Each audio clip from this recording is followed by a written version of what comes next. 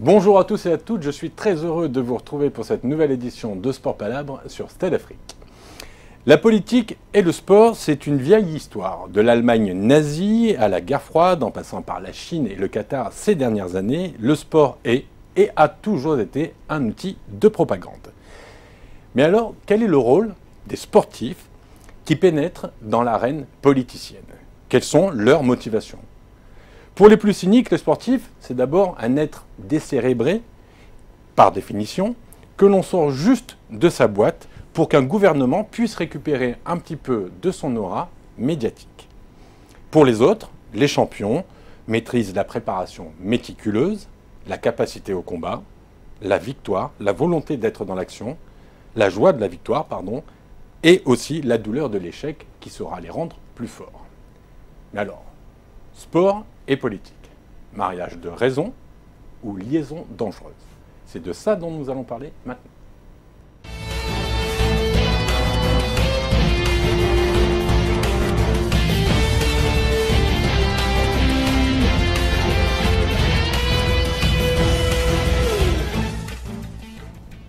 Alors pour parler de ce sujet, j'ai le plaisir d'accueillir sur le plateau de Sport Palabre Jean-Baptiste Guégrand. Bonjour Jean-Baptiste. Bonjour.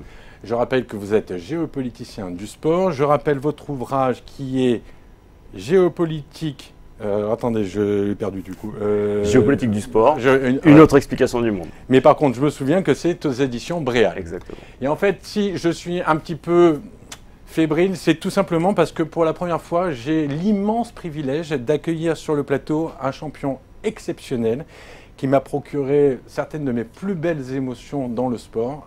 Je veux parler de monsieur Jean-Marc Mormec. Bonjour Jean-Marc. Bonjour. C'est vraiment un honneur de vous recevoir. Je rappelle pour ceux qui ne vous connaîtraient pas, vous êtes euh, champion du monde poids lourd, lourd léger. Lourd léger. Euh, WBA, WBC durant les années 2002-2010. C'est ça. Et euh, depuis quelques temps, vous êtes également délégué interministériel de l'égalité des chances des Français d'outre-mer. Donc, ancien grand champion, enfin champion, politicien, ou dans le milieu de la politique, donc vous étiez tout à fait légitime à participer à l'émission. Et je vais commencer avec vous, Jean-Marc. J'ai une première question qui est toute simple. Pour la droite, l'initiative individuelle, le respect des règles, de la discipline, le mérite par l'effort, en gros, travailler plus pour gagner plus, sont les moteurs de la société. Ça veut dire que tous les sportifs sont de droite? Ben Non, je pense pas. Non Je ne pense pas que tous les sportifs sont de droite. Ben, il y en a sûrement, parce qu'il y en a qui se sont investis peut-être plus à droite. Je pense que c'est un sportif, c'est un individu. Et euh, c'est un individu qui, se gère euh, et qui prend, pour certains, quand ils veulent prendre des positions, ils en prennent ou pas. Moi, j'ai pas de, pas de tendance ou de, truc politique. Moi, je, on m'a proposé quelque chose, un poste. Donc, avant de dire oui, j'ai cherché, heureusement aujourd'hui on a Internet, pour savoir euh, quelle était ma mission et qu'est-ce qu'on pouvait faire. Et pour moi, c'est pouvoir, voilà, avant je me battais pour moi, aujourd'hui je me bats pour les autres. C'est voilà, c'est pour l'intérêt général, vraiment. Jean-Baptiste? Bah, Ce sont d'abord des citoyens qui s'engagent, je pense, les sportifs. effectivement, c'est vrai qu'à droite, on a vu plus de ministres des sports qui étaient étiquetés. Maintenant, euh, on a vu aussi énormément de sportifs s'engager à gauche. Et il n'y a plus aujourd'hui de force politique qui puisse faire euh, finalement campagne sans avoir de sportifs. Mais ce qui est surtout intéressant, c'est qu'on a de plus en plus de sportifs formés qui représentent les valeurs du sport et plus que ça. Euh, je pense à Roxana Maracineanu, par exemple, aujourd'hui à la tête du ministère des Sports. On est face à une ancienne championne, diplômée d'école de commerce, et qui a une vraie vision du sport, du sport santé et de ses enjeux. Donc en fait, quand je parlais du, en préambule de la marionnette que l'on sort de sa boîte, euh, c'est terminé cette époque. C'était vrai avant, ça peut encore arriver, mais je pense qu'on est d'accord aujourd'hui. Euh, les sportifs savent dans quel monde ils sont. ils se trouvent placés, ils peuvent être parfois instrumentalisés un peu, mais de plus en plus, on est face à des entrepreneurs. Aujourd'hui, on réussit plus dans le sport si on n'a pas une équipe autour de soi, si on n'est pas capable de planifier la performance.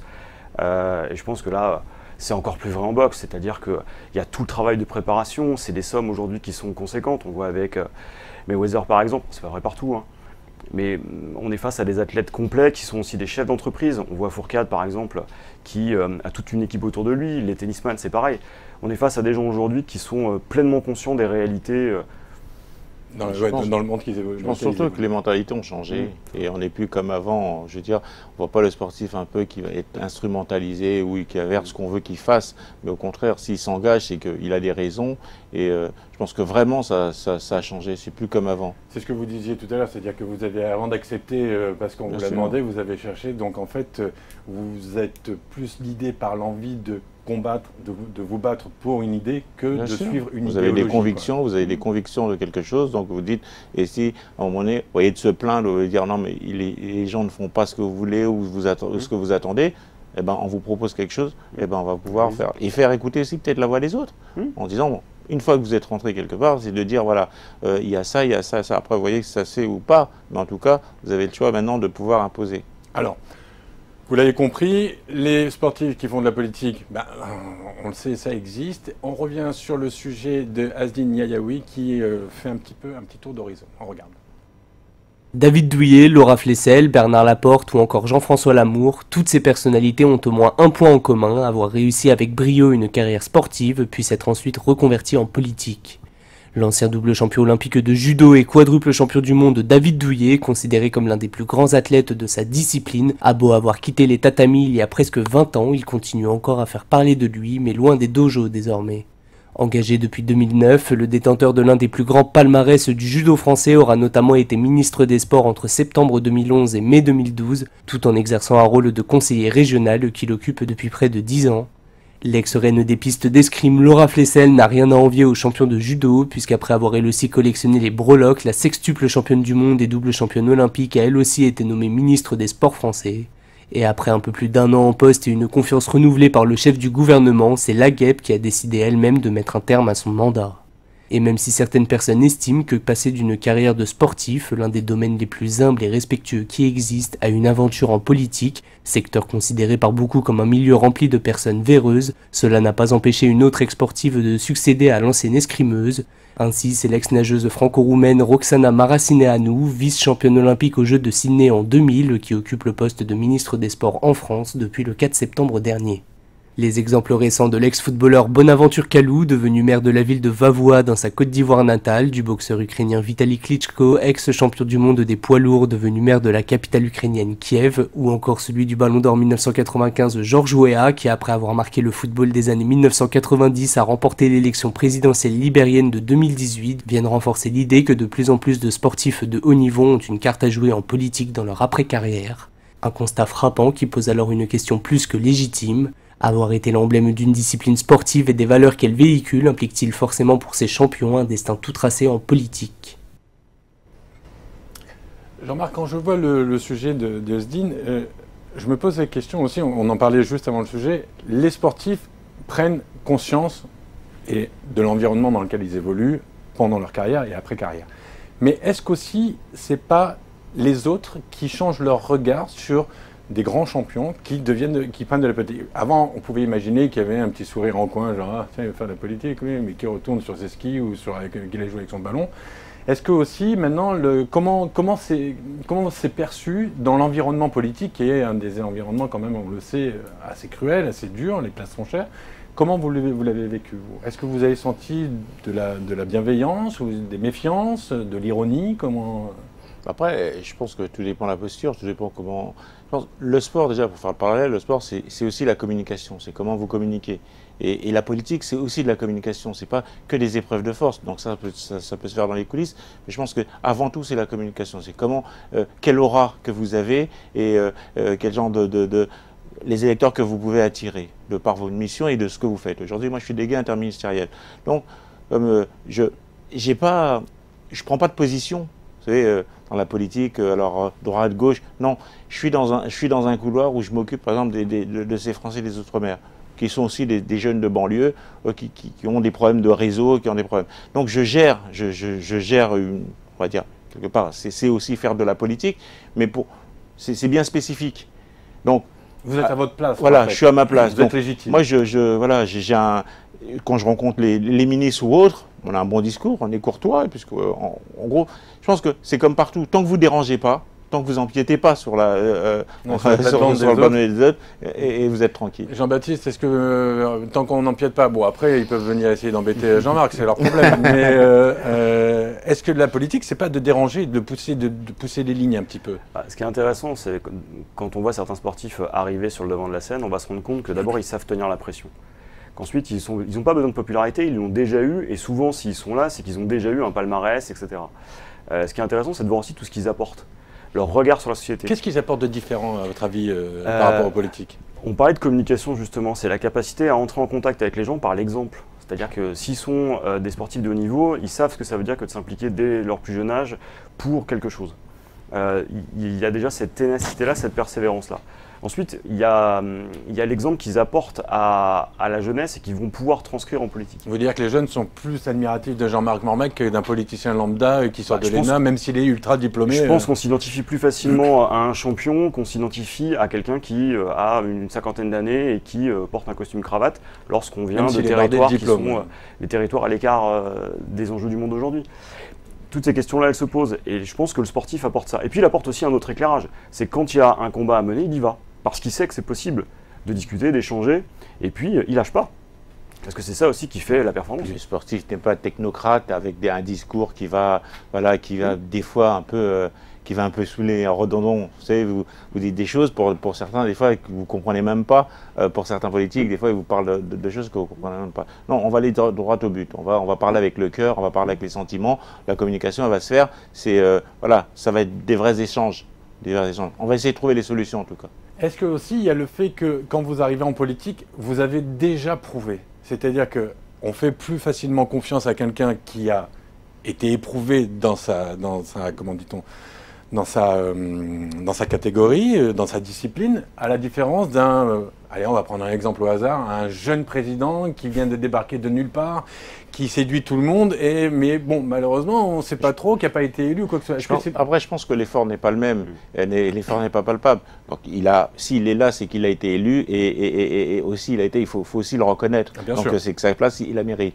Donc, le sportif, c'est différent. Voilà. Donc, le, le, sportif, c'est différent. C'est, c'est, alors, pour moi, ça a été le combat. Pour moi aussi, ça a été l'échec. Pour moi, ça a été aussi de savoir comment, comment après l'échec, qu'est-ce qu'on fait Est-ce qu'on abandonne ou on se relève Ça a été, euh, voilà, la boxe, c'est, euh, quand même c'est quand même c'est quand même assez particulier. C'est euh, vous vous gagnez tout aujourd'hui, vous êtes euh, vous êtes au sommet, demain vous êtes vous êtes plus rien. Et mais en tout cas voilà, c'est un, un, vrai combat. Et, comme la vie, c'est un combat, donc alors, vous prouvez qu'à chaque fois, vous savez vous battre, vous savez vous relever et vous savez faire face aux choses. Ça. Par rapport à votre carrière de, de champion, ce qui vous sert le plus maintenant, c'est d'avoir su rebondir après vos échecs ou c'est la victoire? Je pense que l'un va pas sans l'autre. Moi, je, pense que ce qui, ce qui me sert aujourd'hui, c'est l'écoute. Je pense que ce qui est le plus important, c'est de pouvoir écouter. Vous savez, en, sport, et, tout sport confondu, vous êtes obligé d'écouter. C'est-à-dire que vous avez tout un staff autour de vous. Vous avez un coach et chacun a son, chacun a son utilité.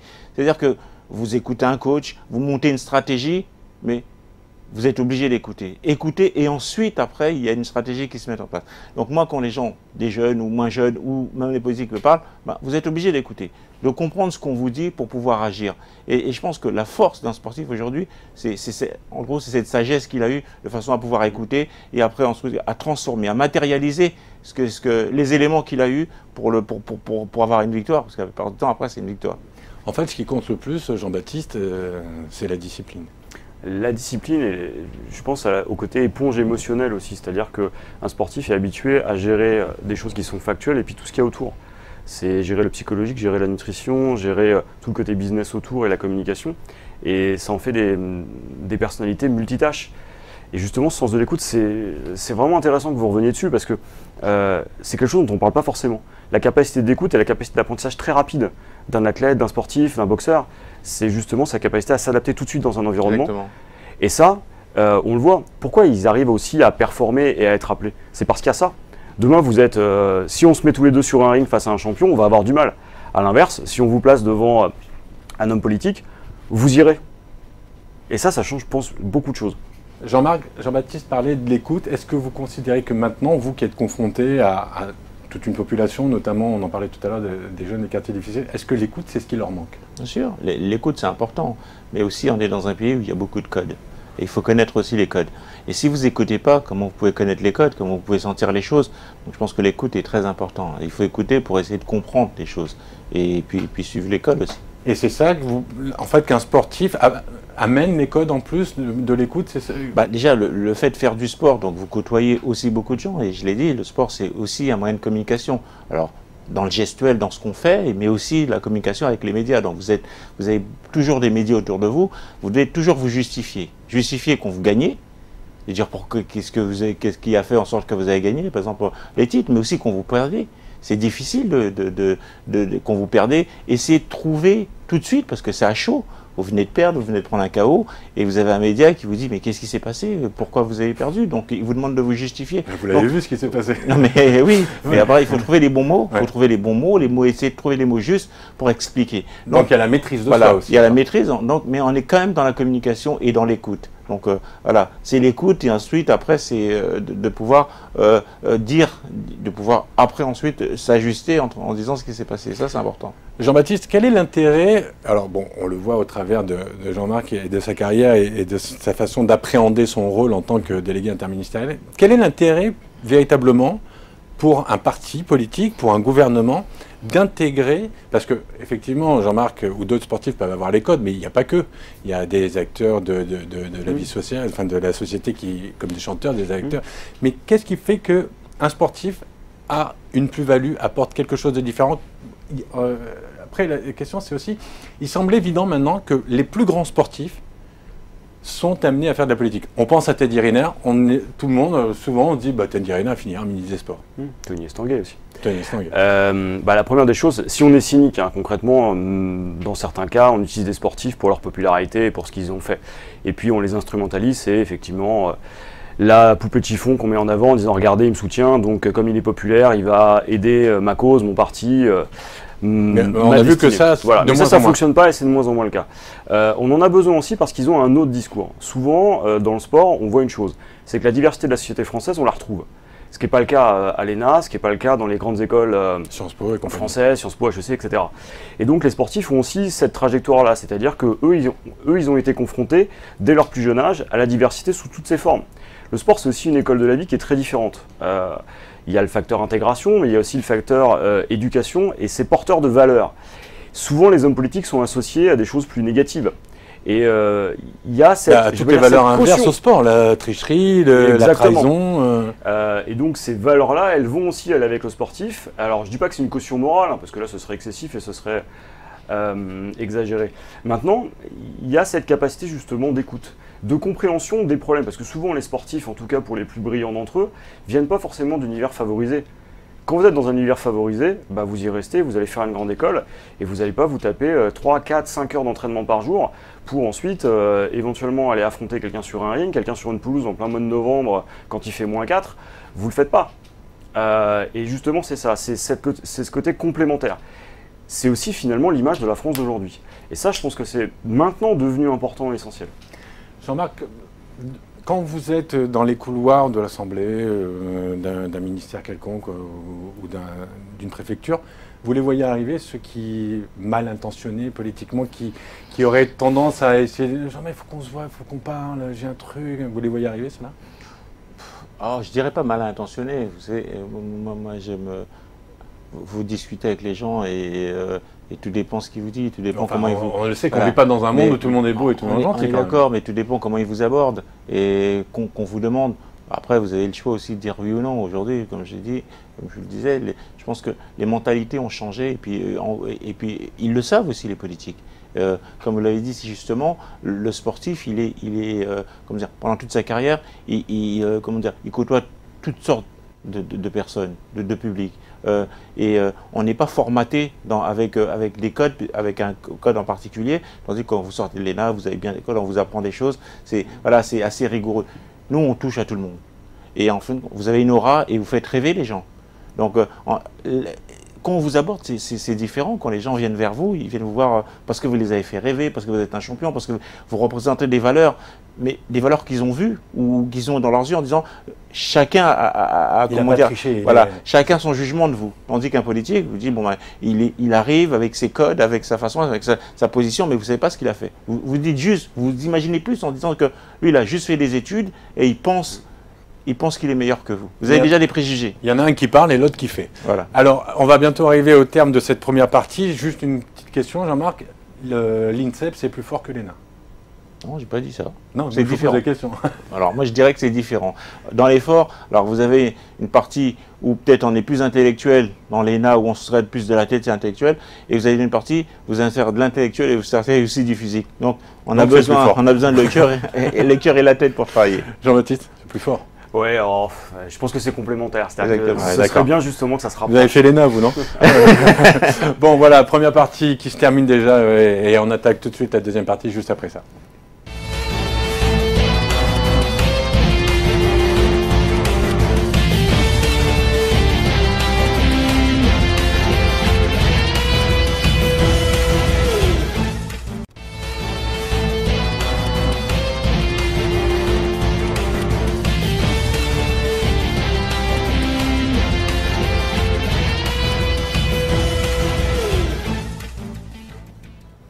Sport Palab, deuxième partie, politique et sport, liaison dangereuse, toujours avec euh, Jean-Baptiste Aguégan, toujours avec euh, Jean-Marc Normaic. Euh, messieurs, on a vu en première partie ce que représentait le champion dans l'univers politique, euh, ce comment il abordait et appréhendait les choses. Maintenant, si vous voulez bien, on va aborder la politique et le sport d'une façon un petit peu plus globale et surtout revenir un peu sur les grands événements liés directement sport et politique. Je pense, alors en préambule de l'émission tout à l'heure, je parlais de l'Allemagne nazie, on parlait euh, des Jeux de 38 avec Jesse Owen, l'apartheid, on, on va aborder tous ces sujets. Euh, Jean-Baptiste, je commence avec vous. Ça a commencé quand véritablement ce lien? Alors vous avez parlé de la Grèce antique?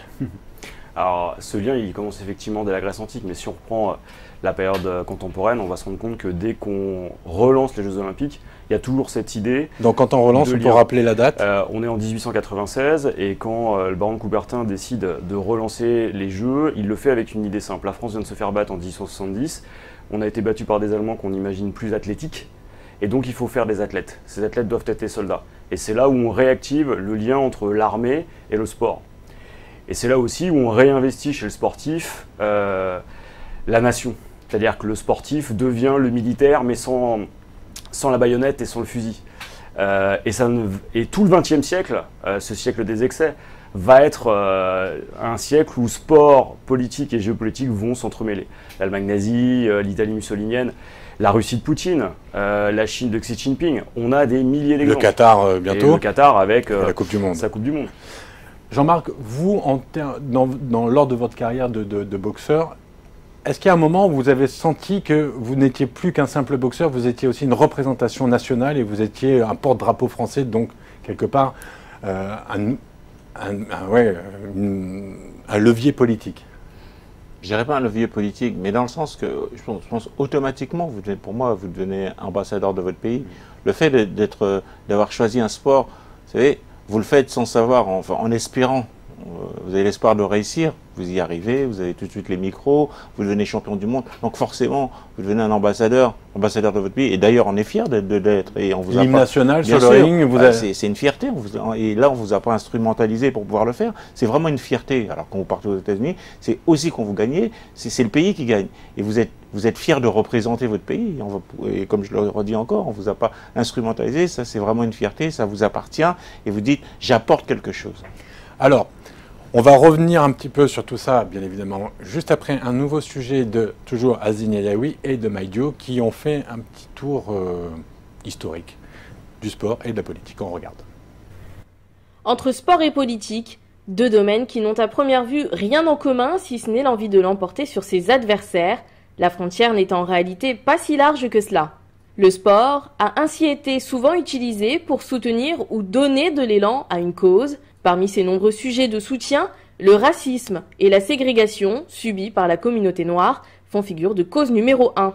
La lutte âpre et intense que se sont menés les deux boxeurs Joe et Louis et Max Schmeling dans les années 1930 illustre parfaitement cette utilisation du sport dans les problèmes sociétaux. Schmeling, incarnation du régime nazi de l'époque, s'impose en juin 1936 lors du premier combat entre les deux hommes.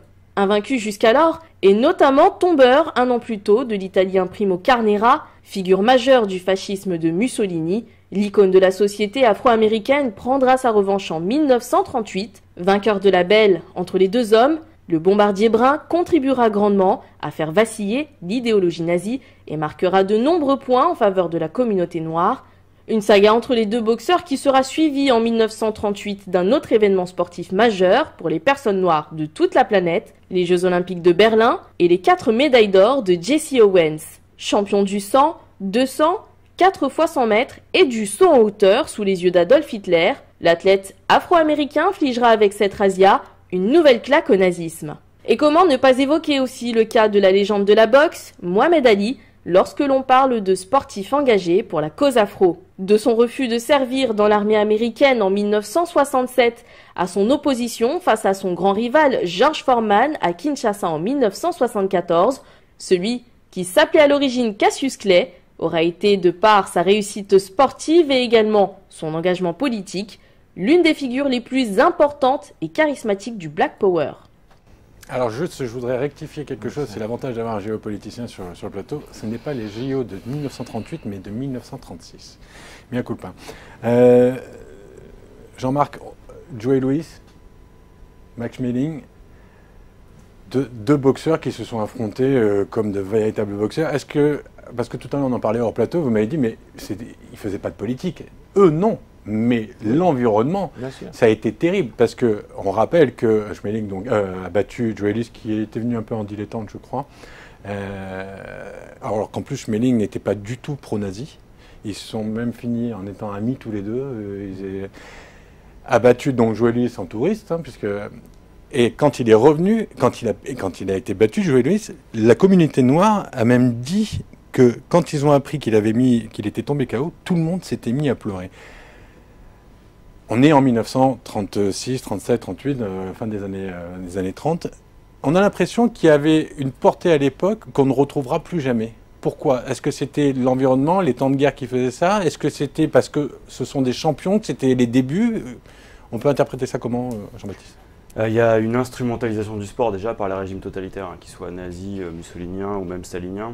il y a toujours eu cette volonté de faire un nouvel homme. Et ce nouvel homme, c'est aussi le nouveau sportif. Donc il faut qu'il gagne, parce que pour montrer que l'idéologie euh, qui est défendue est supérieure aux autres, il faut que ce dernier l'emporte. Et puis là, on a la race arienne blond aux yeux bleus face euh, aux C'est ça aussi, c'est-à-dire que euh, dans la vision complètement folle et raciste de l'idéologie nazie, on a ça. C'est-à-dire il faut que le blanc arien l'emporte sur ce qui apparaît comme étant différent. fort heureusement, les sportifs ont aussi gagné. Hein. On a l'exemple de Jesse Owens, puis on en a pléthore d'autres. Mais il y a cette volonté d'utiliser le sport pour montrer une image de soi à l'étranger qui est conforme à l'idéologie qu'on défend. Et c'est encore le cas aujourd'hui. mais ça, c'est, euh, enfin, c'est, les chefs d'État, c'est voilà, c'est nation, c'est eux qui faisaient mm. ça. Et on voyait que les, sportifs, ils n'avaient pas leur mot à dire ensuite qu'à l'époque. Mais on voit, on voit très bien après, euh, qu'on les, années passent, mm. on voit pour Ali qui est un vrai communicant. Lui, il communique. Et lui, il dit des choses qu'on que, ne peut pas dire à l'époque. Mais euh, ça, je suis voilà. Ali fait énormément. Alors, est-ce qu'Ali, c'est le plus grand politicien noir qui ait eu jusqu'à présent? En tout cas, je dirais le plus grand communicant, parce que c'est, il communique, il fait des rimes, euh, il, dit même qu'il fait pas la guerre. Alors, à l'époque où on peut pas le dire, où en fin de compte, il y a une ségrégation par rapport euh, euh, aux blacks, mais voilà, il prend, il prend cette cause et puis on voit quand même il, est soutenu quelque part, il est suivi. Puis c'est Ali et puis il en faut un. C'est un peu, euh, c'est un peu le Mandela, c'est un peu le Mandela un peu en, avance à l'époque, en avance. Vous, quand vous avez débuté votre carrière en tant que boxeur, en tant qu'homme noir, est-ce que les Joe Louis, est-ce que les, les Mohamed Ali, vous aviez conscience de la portée politique? Vous vous disiez mais si je gagne, si je gagne, je, serai, je suis un Français qui gagne, mais je suis aussi un homme noir qui gagne. Est-ce que vous, non, vous l'avez jamais perçu comme Non, parce que je suis, parce que déjà après les, mentalités changent, je l'ai dit, hein, puis on n'est plus, à la même époque, et puis on perçoit plus ça. Moi, je perçois le, champion, je gagne. Moi, je me considère comme Français, je suis Français, et, euh, et euh, comment dire, c'est eh ben, je vais porter, voilà, je, porte la couleur du drapeau. Donc c'est la France qui gagne. C'est-à-dire, je suis représentant, je suis ambassadeur de, de, ce pays, et pour moi, c'est la France qui gagne si je gagne. Ça, c'est une grosse différence avec les États-Unis, même encore maintenant. Hein. On a fait plusieurs émissions où, quand on fait des parallèles entre des sports version américaine et version française ou européenne, c'est marqué, le côté communautariste afro en États-Unis existe. C'est-à-dire que la question raciste en France, euh, elle peut se poser sous certaines, euh, enfin de certaines manières, mais la question de la couleur de peau, elle n'a pas la même importance. La ségrégation en France, elle n'a pas eu lieu, elle est peut-être dans les têtes pour certains, mais elle n'existe pas dans les faits, dans la loi. Aux États-Unis, il faut attendre les années 60 pour que ça change. Et euh, quand on prend Ali par exemple, c'est le premier athlète afro-américain qui s'impose, qui le revendique et qui dit non, je suis américain, mais je ne ferai pas ça. Et ça, ça change tout. C'est comme ceux qui euh, sont à l'origine du, euh, du Black Power et, de tout ce mouvement qui est celui des Black Panthers. Il y a une vraie cause afro-américaine, mais en France, on est dans un autre contexte. On a déjà des hommes politiques qui viennent d'Afrique dans le cadre des colonies qui sont au Parlement. Je pense à Léopold Sédar Senghor. on a aussi énormément de sportifs qui viennent euh, des Antilles ou euh, du reste de l'Empire. Et on a l'habitude de ça. La question en France, elle ne se pose pas de cette manière-là. Jean-Marc, euh, là, quand on voit Mohamed Ali, il a un, il a un lien avec vous, indirect. Et j'allais je vais parler du, combat qui a eu lieu anciennement Zahir, Kinshasa, face à Forman en 1974. Vous avez un point commun, on en a parlé tout à l'heure, c'est Don King qui vous a managé et qui a été à l'initiative avec euh, Mobutu, le président de l'époque. Don King, c'est un homme politique. Bah, oui, oui, oui, c'est un homme, enfin, c'est un homme politique qui fait de la politique en, faisant du sport. Mais, mais, mais, je ne sais pas, après, la, politique, on peut le généraliser, mais je dirais plus, c'est, les communicants. Ils servent, de, ils servent de la politique pour pouvoir faire leurs, leurs actions. Je pense plus ça. Lui, c'est un, un promoteur. Enfin, c'est pour moi, c'est le plus grand promoteur du monde. Mais le fait de. C'est le seul que tout le monde connaît d'ailleurs. Euh. c'est, c'est, voilà. et je pense qu'il y, a des gens comme ça. Il y a des gens comme ça qui, qui, marquent leur époque parce que Don King, c'est, euh, il a vu, euh, comment dire, Malcolm X, enfin à toute cette époque où il a, où il a vécu. Et Martin Luther King, Martin Luther King et compagnie, comme, comme Ali aussi. Je pense qu'il fallait y rester à l'époque où, où, et puis là, il a, je pense qu'il a marqué son temps, mais parce que c'est un communicant, parce qu'il a su, il, a su bien s'orienter. Jean-Marc fait la distinction entre communicant et politique. Mais un politique est forcément un communicant. Là, quand on voit le, combat à Kinshasa. On ne défend euh, pas les mêmes causes. Je pense mm. qu'au niveau, c'est la cause qu'il ne défend pas. Euh, comment comment euh, Churchill disait un, bon politique. il doit vous dire, il, doit vous, dire ce qui se passe. enfin, il doit vous transmettre. Comment, comment il dit ça En gros, il va vous dire ce qui va se passer demain, et tout de suite après, il va vous dire pourquoi ça ne s'est pas fait. En gros, voilà, un politique, c'est ça. On vous, dit, on vous prédit l'avenir, en gros, il doit vous prédire l'avenir, et tout de suite, il va vous dire pourquoi ça ne se fera pas. Tandis qu'un un communicant, c'est pas pareil il communique sur un événement, il vend mm. quelque chose, et c'est pas pareil. Mm. Il n'y a pas le même niveau d'engagement. Et, le rêve, voilà. ils vous vend pas le même rêve. Voilà, il va vous vendre une réalité que vous voudriez peut-être acheter, alors que l'autre va vous vendre au contraire une réalité que vous n'avez peut-être pas envie d'entendre. Et c'est ça la différence. Et on le voit avec les sportifs. Hein. Quand Alice s'exprime, il y a une bonne partie de la de l'Amérique qu'il ne supporte pas. Et ça va lui causer énormément de tort. Mais pas forcément l'Amérique noire, l'Amérique blanche. Non, non, mais même, on va lui reprocher aussi de se mettre en avant. Euh, il y a une bonne partie euh, des reproches qui sont faits sur l'arrogance d'Ali qui viennent aussi euh, des Afro-Américains, puisque on va lui reprocher justement de parler trop fort, alors qu'ils ont juste envie de rester plutôt en retrait, de ne pas faire de vagues. Il y a ça aussi. Un sportif qui parle trop fort, c'est parfois un, sportif qui prend de la place. Mais, je pense aussi, euh, la distinction, la, différence entre le, politique et, le sportif, le, politique, il va vous vendre, il va vous vendre, il va, il va se vendre lui. C'est-à-dire que si je suis au pouvoir, si vous votez pour moi, je ferai ça. D'accord. Tandis que le, sportif, il vous vend sa, performance. sa performance, il vous vend un truc qui, qui du moment et lui, l'autre, il vous vend un truc sur l'avenir, il vous vend. ce, mm. qui est, ce, qui est, ce qui est différent. Vous parliez, vous le disiez tout à l'heure, Jean-Baptiste, vous disiez que euh, la propagande sportive dans la politique était souvent liée au régime totalitaire. Mm. Ça l'est toujours. Euh, on a fait euh, il n'y a pas longtemps une émission sur la Cannes, mm-hmm. avec vous d'ailleurs. Hein. et on a vu la manipulation supposée, mais bon, de Paul Biya pour la réélection qui a attendu les résultats.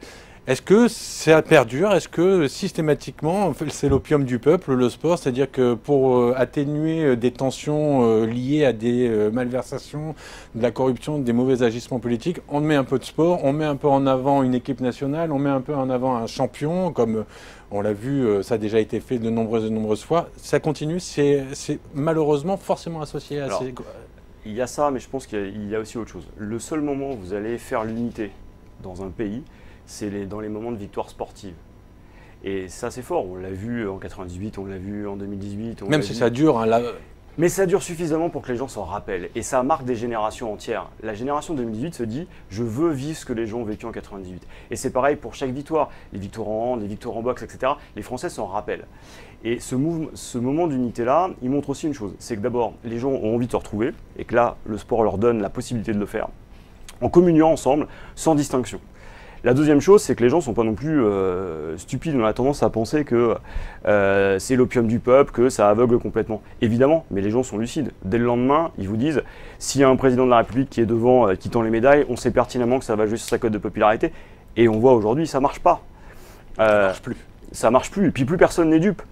Et ce qu'on voit surtout, c'est la pureté de ce qu'apporte le sport. C'est-à-dire que le sport, ça permet de transcender aussi les clivages pendant un temps. Cette parenthèse enchantée-là, c'est la meilleure chose que le sport offre à la société. Et les sportifs sont les ambassadeurs de ça. Après, il y aura toujours des régimes pour vous dire Oh, regardez, mon athlète a gagné. Je prends l'exemple du Qatar, par exemple, qui a été euh, l'emporté euh, sur les terres des Émirats Arabes Unis lors de la Coupe d'Asie. Les supporters émiratis, et plus encore le pouvoir, étaient loin d'être contents. Alors qu'au Qatar, c'était la fête. C'est-à-dire que même une Ligue des Champions pour le PSG, c'est un cran dessous. On est sur autre chose.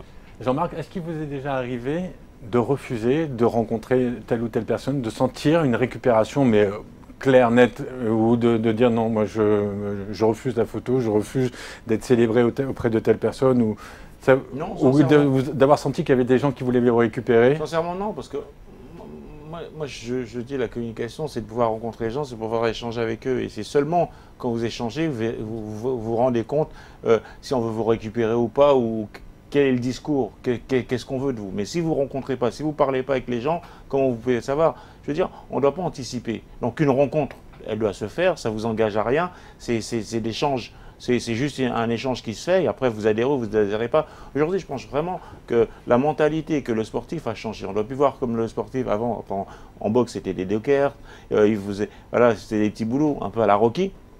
Donc on disait forcément ils sont. Ben, ils ne pas de Rocky, j'avais promis que j'en parlerais pas. Euh. mais, mais aujourd'hui, franchement, vraiment, je pense que ça a changé. Et euh, on aborde les sportifs différemment. Ce sont aussi les hommes qui, qui, font les affaires, qui ont construit leur sport et qu'aujourd'hui qui sont intelligents. Mais on les aborde différemment. Est-ce qu'on ne les aborde pas différemment pour une très simple et bonne raison C'est que maintenant, un, sportif vaut très cher, surtout un champion, encore plus qu'il y a quelques années. Oui, mais, euh, mais tout ce qui est rare est cher. Donc vous valez aussi de l'argent, donc vous en êtes conscient. Donc, euh, oui, mais là, on arrive à atteindre des sommets en termes de. Vous avez connu une époque de boxe pas si vieille, vous avez arrêté votre carrière en quoi 2010 Ça fait 4 ans. Ça fait 4 ans au mois de décembre. 4 ans? 2000... Ah, d'accord. Euh, non, mais champion, je vous dire, la dernière fois que vous étiez champion du monde, c'était en 2010 Ah ouais. oui. Euh, vous touchez pas, même si je vous le souhaite, ce qu'a gagné Mayweather. Non, mais personne n'a touché, même en Formule 1, on l'a pas touché. Donc là, c'est hors du commun. Enfin, c'est un extraterrestre parce qu'il a invaincu, parce que les gens qui sont derrière lui font un, énorme business. Vous savez, quand vous êtes invaincu, quand vous êtes euh, euh c'est un extraterrestre. Qui va le battre aujourd'hui? Après, ça c'est quoi, Ça c'est uniquement aux États-Unis. Il y a tout un marketing, il y a, tout, il y a, il y a une grosse machine derrière. Et vous voyez, euh, il y a, il y a, ça fait deux ou trois ans, même dans Ford, c'est le sportif le plus payé de la planète et même, même les Formule 1 ou les footballeurs ne touchent pas ça, alors qu'on sait qu'aujourd'hui, les footballeurs, ils touchent beaucoup d'argent. Mais lui, il est carrément sorti des radars et on ne sait pas ce qui va. Ce qui va, ce qui va Justement, il y a une question, puisque vous êtes là, j'en profite. Vous en avez pensé quoi du match contre McGregor? Bah, C'était euh, c'était du marketing. Du spectacle. Mais oui, mais, ça a fonctionné. Et donc, ça fait. Ah, le, sport, ça, ça c'est. Comment dire C'est c'est plein de choses, quoi. C'est magique. C'est, on va voir aujourd'hui, et je pense que les gens, ils ont besoin de ça. Et surtout les Américains, ils aiment, ils aiment faire ça. enfin, ils, savent faire ça. Tout le marketing vous rend du rêve. Vous vend du rêve. D'ailleurs, pour moi, il n'y a, il a pas de rêve euh, dans aucun pays, à part aux États-Unis. On arrive. Tout est, tout est possible. Et c'est ça, c'est ça la magie. Alors, euh, ce qui est moins magique, c'est qu'on va arriver au terme de l'émission. je suis un peu. Euh, bon, enfin bref. donc, on va terminer sur une dernière, une dernière question. Jean-Baptiste, est-ce que décidément le sport c'est devenu la seule et vraie dernière valeur patriotique fédératrice? Euh, je pense qu'effectivement que le sport aujourd'hui est l'un des rares euh, domaines dans notre société où tout le monde se retrouve, où la discrimination n'a pas forcément de prise et où on peut avoir une égalité homme-femme, on peut avoir euh, une égalité des opportunités. C'est-à-dire que que vous veniez d'un territoire perdu au fin fond de la ruralité, que vous soyez dans ces fameux territoires de la République, entre guillemets, ou euh, au fin fond euh, des, euh, des dom vous avez la même chance si vous êtes bon et si vous êtes accompagné. Et ça, ça change tout. Moi, je suis entièrement d'accord avec vous. Après, tout dépend, il y a la perversité, la perversité aussi du sport. Mm. Après, si si vous êtes drogué ou si, vous êtes dopé. Et ça, ça, voilà, ah ça peut nuire au sport. Mais il y, a aussi, il y a aussi, le sport à ses travers. Il y a les performances, il y a le dépassement de soi, il y a toutes ces valeurs qui, que, que, le sport peut véhiculer et que euh, cette empathie que les gens peuvent avoir pour un sportif, mais aussi, ils, ont ces travers. Après, si on sait que vous êtes drogué, vous êtes... Et puis là, vous... Vous savez quoi, Jean-Marc? Euh, Vous êtes un immense champion, vous êtes un excellent communicant parce que vous venez d'annoncer un des prochains thèmes de Sport Palabre qui va être drogue. Enfin, on verra, mais on va parler de dopage. Jean-Marc, merci encore mille fois d'avoir participé à l'émission. C'était véritablement un immense plaisir. Je vous remercie au nom de tout Stade d'Afrique. Jean-Baptiste, merci. merci. Euh, non, merci beaucoup d'avoir participé à l'émission. Moi, je vous dis à la semaine prochaine pour euh, un nouveau Sport Palabre. À très bientôt. Merci.